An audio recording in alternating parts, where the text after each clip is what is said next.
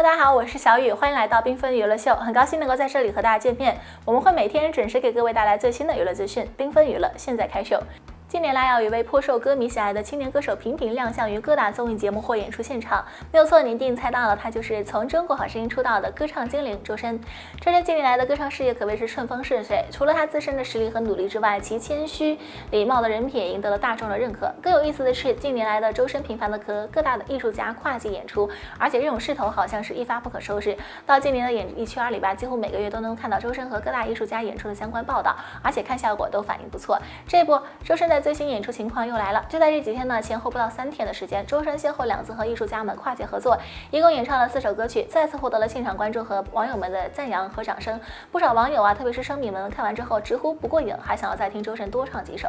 十月三十号晚，周深参加了快手一千零一夜的晚会的演出，在这次的晚会当中啊，周深第三次和著名的钢琴演奏家郎朗跨界合作，还有小水井合唱团的加入，使得这次的合作真的非常成功，让现场的演出一下子升华到了艺术表演的高度。刚开始在看到周深和朗朗合作的是《大鱼》这首歌的时候呢，无疑是有些小失望的。毕竟周深的大鱼呢，几乎是所有的歌迷当中已经耳熟能详了。但当表演开始的那一刻呢，我承认我震惊了。朗朗开头，钢琴做前奏，行云流水，意境出现。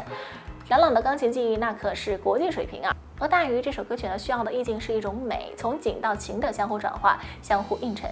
就在朗朗钢琴响起的时候，那种意境便已经展现出来了，纯音乐的美仿佛是画卷。而前奏刚结束不久呢，伴奏便响起。周深的前半部分的演唱其实并没有太大的变化，然而在中部吟唱的时候的变化却引人惊艳了。周深的吟唱把海妖之名展现的是淋漓尽致的，仿若是自然的天籁之声。在大鱼这一次的演唱当中，我听到了巅峰的版本。在周深的这一次吟唱当中，彻底的把情感爆发出来，以景美相后交映，却又不失自然的意味。而后期的一些微小的变化，无疑也是周深对这首歌曲的理解更为提升了。整体来说呢，比以往的进步呢，明显的更加进步了。而这次的演绎呢，也并不是说只有周深和朗朗的参与，其中呢，合唱团的伴唱也是一个亮点。合唱团在整首歌曲当中的突出表现并不多，但对于和声部来说呢，在这首大鱼的表演的时候，无疑也是提供了不少精彩的声部，更显大气，更有美感。就在这首大鱼结束之后，周深再次带来一首英文歌曲《Scarborough Fair》。实际上呢，这首歌曲的灵魂之处在于副歌，而周深的版本呢，虽说和原唱音境上不相同，但是却有了一种新的灵魂体现。这次作为翻唱歌曲的最大的殊荣，谈及此处啊，我们也不得不提到周深的语言天赋了。在强大的语言天赋之下，驾驭这首歌曲的难度减少了许多，整体的英文非常流畅。而周深本身就是对歌曲有着特殊的领悟能力，站在舞台上面闭眼睛的那一刻，他是引人注目的。在演唱的过程中，音色和音阶处理得很完美。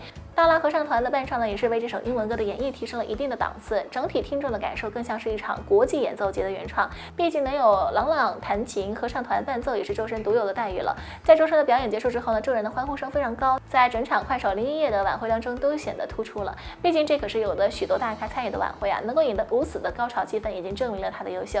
就在这次晚会结束之后的第三天，也就是十月一号。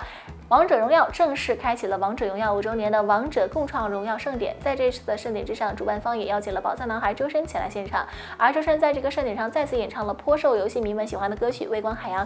这首歌曲现场效果特别棒，将周深那空灵啊透亮的嗓音里展现的淋漓尽致的，真的是一种美的分享。那么，更让观众和声迷们欣喜的是，周深除了演唱《微光海洋》这首歌之外，再次和艺术家进行跨界合作。他这次的合作对象呢是越剧的表演艺术家毛维涛老师，他们一起合作演唱了《相思》，而这个版本的《相思》和周深之前在《歌手当打之年》演唱的《相思》相比较的话，有了一些改动。这次《相思》把周深最擅长的美声功底的流行唱法和毛维涛老师的粤剧的唱腔巧妙的融合在了一起，真的让人很惊艳。不少的网友和声迷都说啊，深深这次表演呢，有了刷新我对周深的认知了。确实，周深在短短的三天时间里呢，和郎朗、小水井合唱团以及毛维涛的跨界合作，让我们再次看到了周深在歌唱事业上的开放、求索精神，让大家对周深这位歌唱精灵到底能够达到这个怎样的新境界而感到好奇。当然，这。正如不少的网友或声明所说的那样，只要是周深的演出，我都喜欢；只要是周深唱的歌，我都爱听。这一波我也准备再次去听听上述周深演唱的四首经典歌曲了。另外，除了歌声，他也是被综艺之神眷恋的孩子呀。这次椅子先动的时候，让腿长一五五的周深成功的更新了自己的微博词条：周深坐椅子太好笑了。看到他好不容易努力的快坐上椅子，结果那椅子旋转降了下来，又好笑又尴尬，忍不住想起了在《青春环游记》里边他和贾玲扮演的刘德华那一段。最后帅气结尾呢，要上摩托车的时候，卡住了腿过不去，也是笑翻了现场的所有人。真是气场两米八，腿长一五五，却也是过不了半米的椅子和机车的阻挠啊！在娱乐圈，身高呢也是一直大家讨论的梗，尤其是周深和何老师这样的在娱乐圈一米七八的都在被说矮的氛围里，更是常被提起了。但他和其他人不一样，他的自黑真的是走自己的黑路，让黑子无路可走。网上有很红的关于周深怼粉丝合集里边有一段是，粉丝说如果他还能够带走我的哀愁，周深你可以娶我吗？周深回答说你这是在骂我。除了自黑，还可以机智的圆场。有一次参加节目呢，有个问答环节，李克勤老师问他说女生多少斤才算重啊？他马上改变了话题说男人多矮才算矮呀？这样猝不及防的自黑的完美的圆场，还是显示了对于女性的尊重的。始于歌曲，陷于才华，最后被他的沙雕给圈粉了。周深曾经说的一段话，说的是他自己，但是所有人也都很适用的。